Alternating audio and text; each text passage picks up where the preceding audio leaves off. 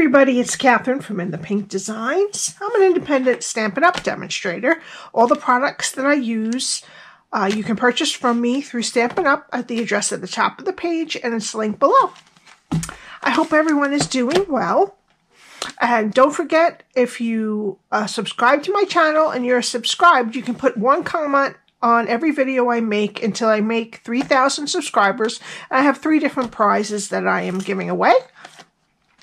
You can check my last video for what they are.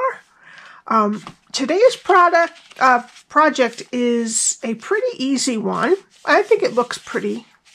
Um, it's a it's a pouch that has a chocolate bunny, but also we can put.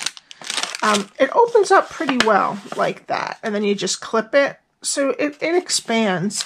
You could put M&Ms. You could probably fit three packs of M&Ms. Um, let's see. I don't know about three of these. Let's see. Yeah, you could put three uh, peppermint patties. Just any any fun-sized candy will definitely fit. And then one of the Hershey bunnies will fit in there. And then I just clip the pretty tag onto it. Just like that. Uh, you can make two of these out of one piece of 12 by 12 designer series paper. Um, I use the flowering tulip stamp set along with the tulip dies. I stamped the tulip this time. Last time I used this set, I used the dies to create a tulip.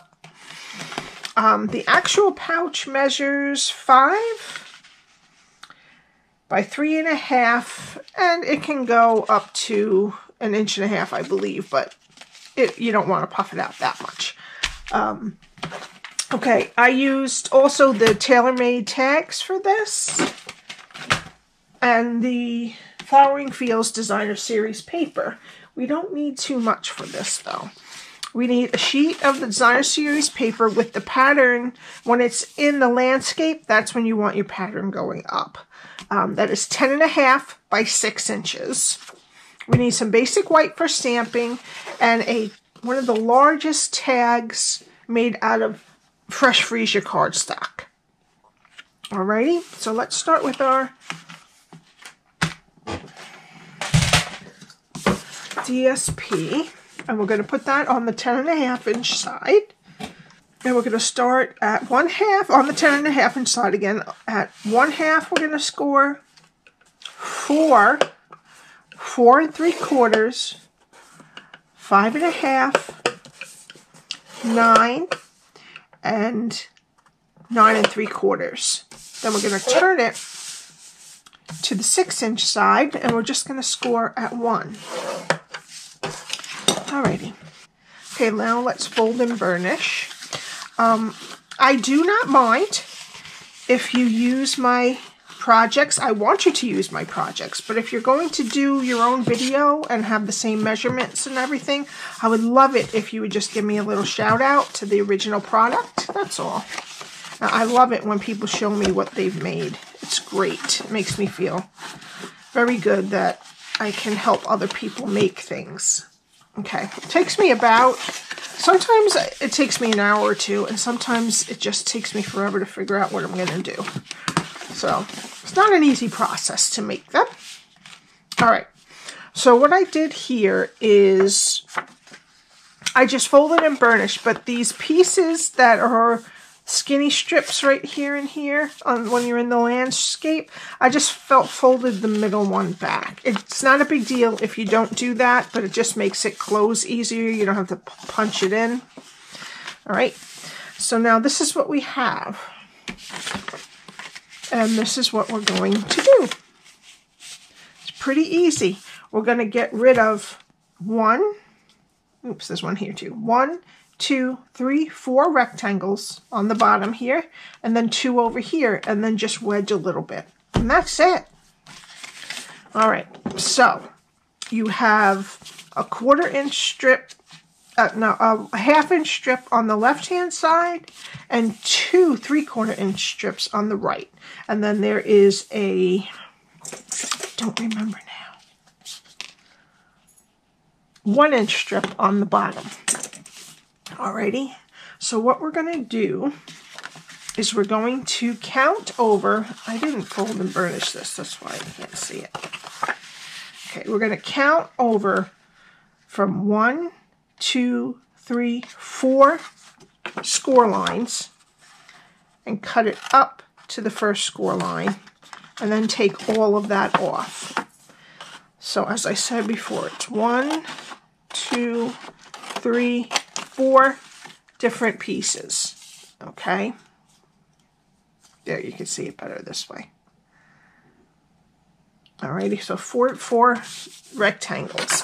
And then we're just going to wedge up a little in the skinniest rectangle here and go to the top and wedge down. All right. We're going to leave this long rectangle alone. On the other side of the rectangle, go to the first score line and then take these two rectangles off. And this is what your DSP should look like after you've scored it and cut it. Okay, now I'm going to take some DSP and we're going to put it on the skinny rectangle close to the score line. Now you can do this with liquid glue, but you have to slow down a lot and wait for each piece to dry.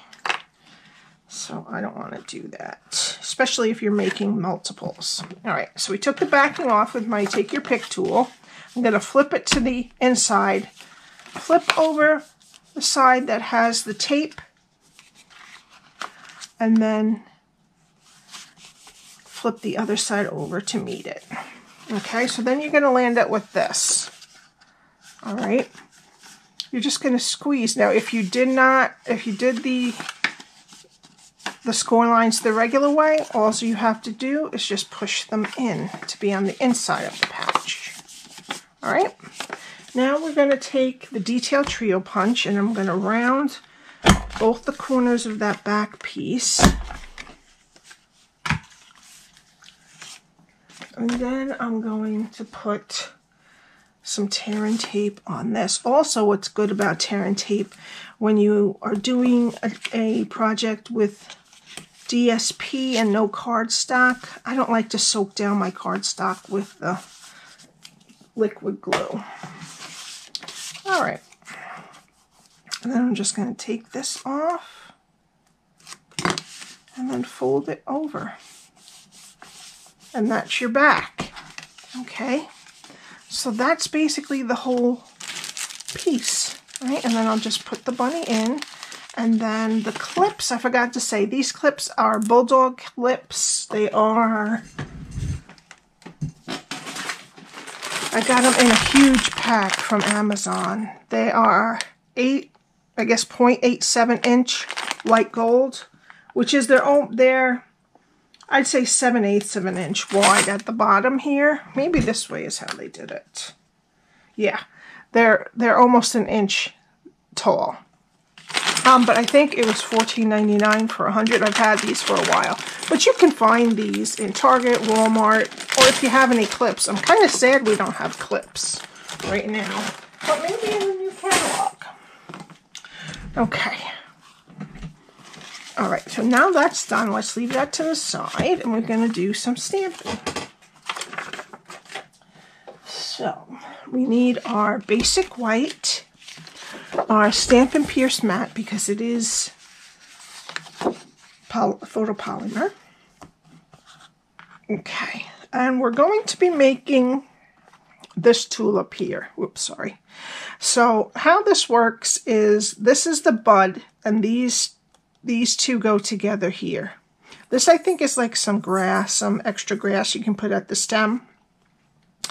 These two go together here and these three go together. Now, there's different ways to do it. Most people say the ones that have the most um, area to stamp are the ones you should do for the light color. I don't know if that's how this is because they're pretty even the amount of dark they have.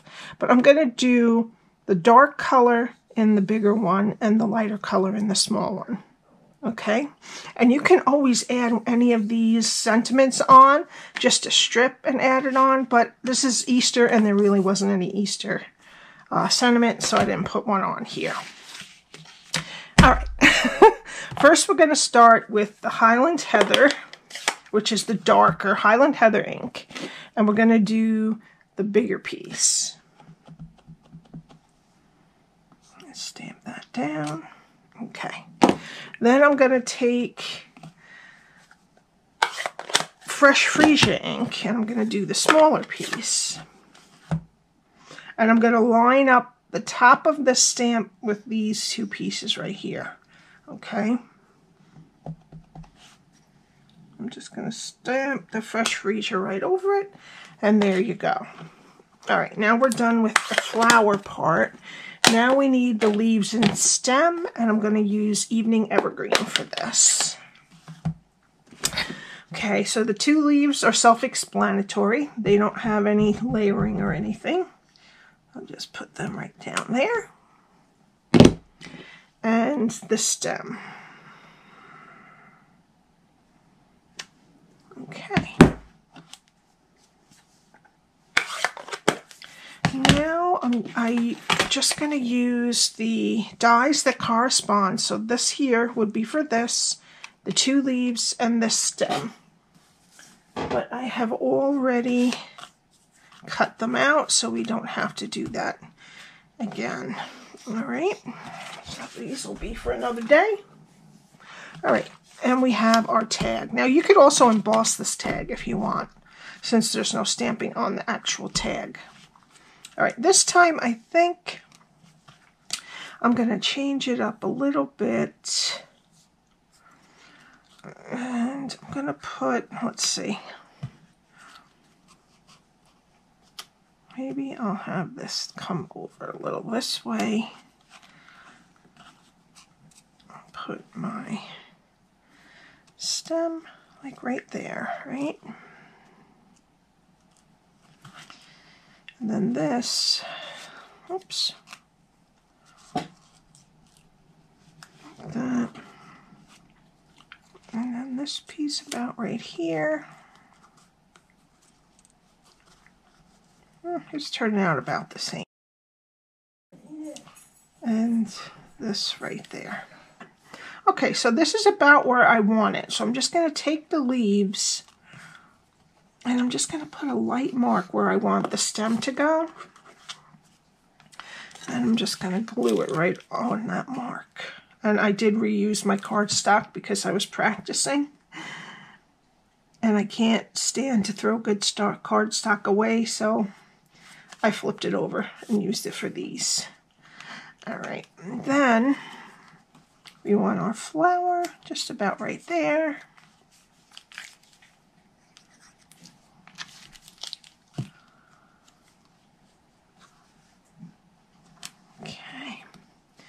And then our leaves.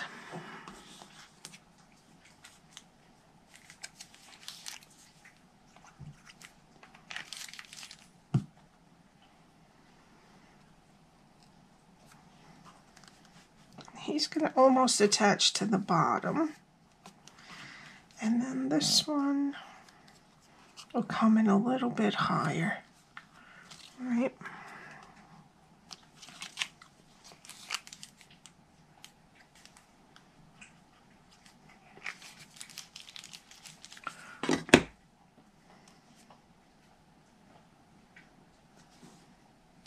a little bit higher than that. There we go. Okay. Alright, so let's let that dry a second. And then I'm going to get my clip. And this is, this is Evening Evergreen Windowpane Check Ribbon. And I'm actually going to put it in where the clip is. You could just make a bow and attach it with a glue dot, but I'm actually going to tie it on the inside here.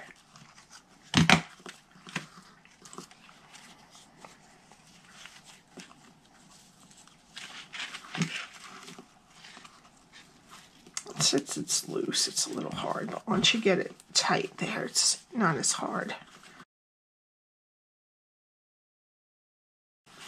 All right, and then I'm just going to clip it Alrighty, and then for this tag, I'm going to take some of the gold trim from, I'm trying to look for the name of this, Simply Elegant Trim.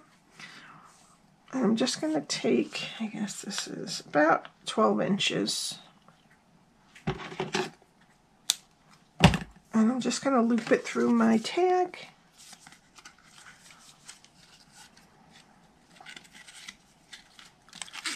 And then I'm just going to tie a bow on the top of the tag. So it looks pretty when they take it off, if they take it off.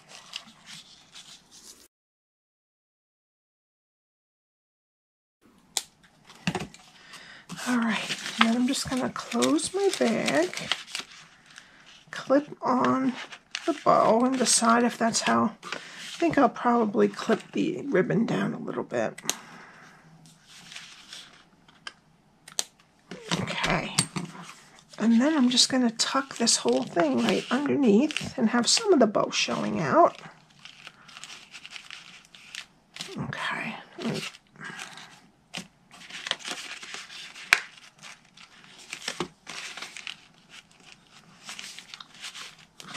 Okay, and I might have to fold this down a little bit to get it to stay down. And for the final touch, I'm just going to get some of the 2021 to 2023 in color jewels. And since there is so uh, not so saffron, soft succulent in there, I'm going to take those and I'm going to put one over here because it changed. I moved the and there and then a small one up there. And that's it. Pretty quick and easy. It can be as inexpensive. In, the contents can be as inexpensive or as expensive as you like. And it only takes half a sheet of DSP. So um, all of the measurements will be on my blog. If you have any questions, my email is below. You can also put the questions in the comments. And don't forget to comment if you're subscribed, if you'd like to be entered into the giveaway. I, you're allowed one comment per video. And I will see you next time. Have a great day. Bye.